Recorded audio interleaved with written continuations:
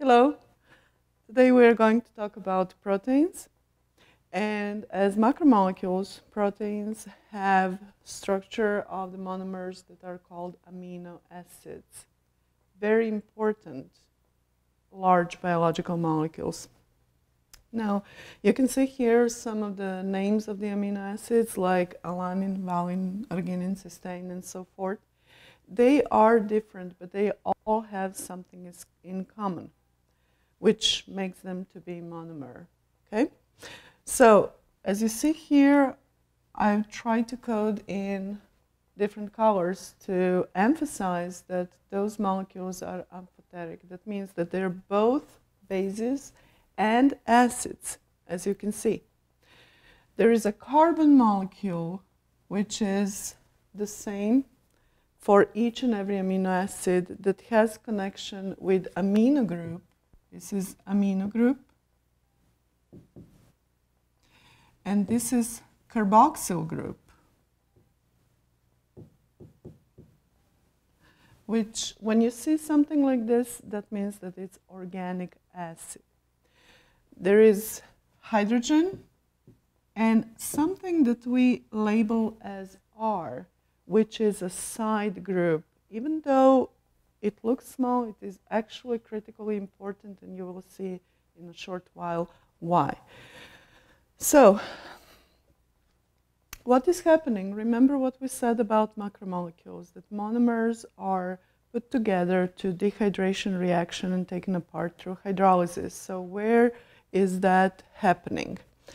This is a little bit differently stated, uh, the structure of the amino acid.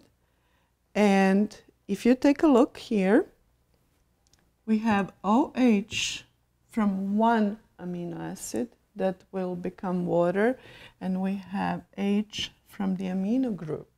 So, is it happening just that free? No, we have to have enzyme, enzyme that is putting them together like a soldering iron, okay?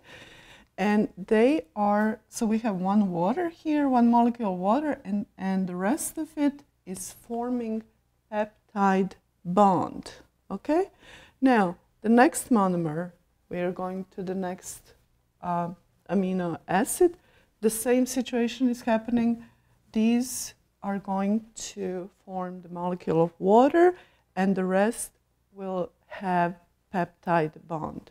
That peptide bond is why we call the base of the protein is actually polypeptides because each and every protein has to be polypeptide, but not all of them are just one polypeptide. It could be more than one. So polypeptide, that comes from peptide bonds that are built, chemical bonds that are built from what is left over of the amino acid after taking the water away. Now, what we saw there, that is the primary structure. So, primary structure of the protein, very important, is only peptide bonds between them.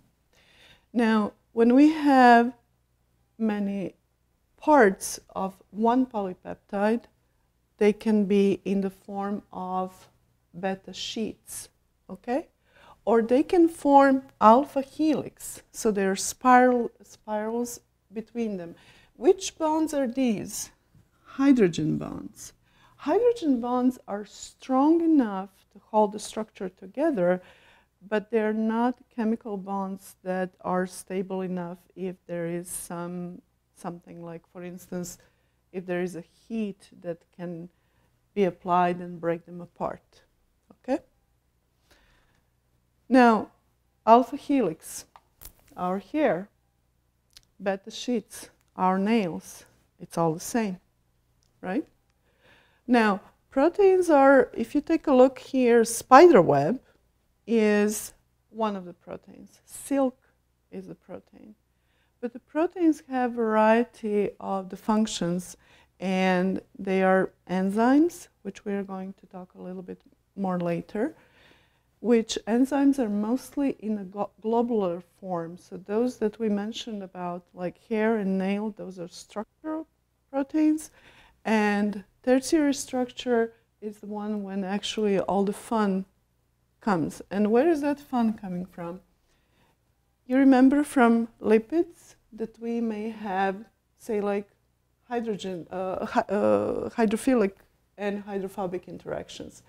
So if these two amino acid, if their acids, if their R group is hydrophobic,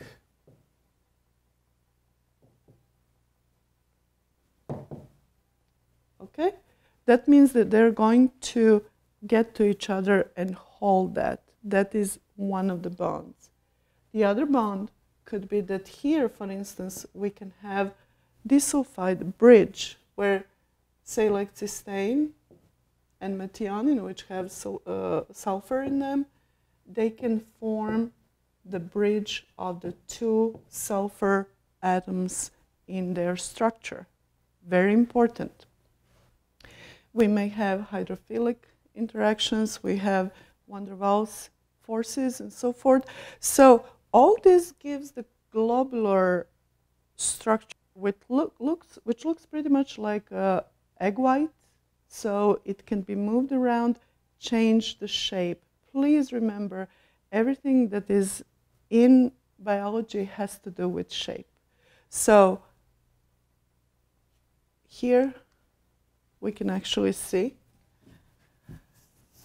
how quaternary structure, so this would be additional structure, and not every protein actually has this structure. As you can see, these here are built from two different polypeptides. In the case of hemoglobin, we have four of these. So this would be another two polypeptides, okay, that are bring together and they're forming functional protein. In the case of hemoglobin, there are four iron atoms that are embedded in each and every of the polypeptides. Now, regarding denaturation, you may heard about that denaturation. That means breaking down all of these bonds that we mentioned and getting it back to that primary structure. Primary structure, bringing back to primary structure that is denaturation. What happens when I boil egg? Can that egg white be runny and jiggly again? No, because it was denaturated. And that is what is happening usually when we boil something to kill bacteria and so forth. What we actually do, we denaturate. Speaking of the temperature, the fever that is above 42 degrees Celsius is very dangerous because of that fever is actually enough to do denaturation of the proteins that are in our brain and basically kill us by disabling function of the brain. That would be short about the proteins. Thank you.